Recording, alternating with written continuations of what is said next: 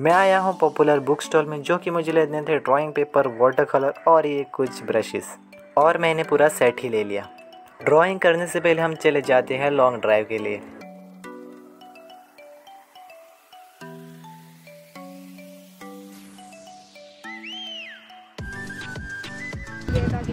और अभी हम पहुँच चुके हैं इवनिंग सनसेट देखने का अलजीबाग बीच बीच पे घूमते घूमते हमें मिल जाता है क्यूट सा डॉगी जहाँ तक मुझे पता है, ये डॉग ज़्यादातर ठंड में रहते हैं। काटता तो नहीं ना? ये ब्रीड है साइबेरियन हस्की डॉग्स लवर को तो ही पता ही होगा।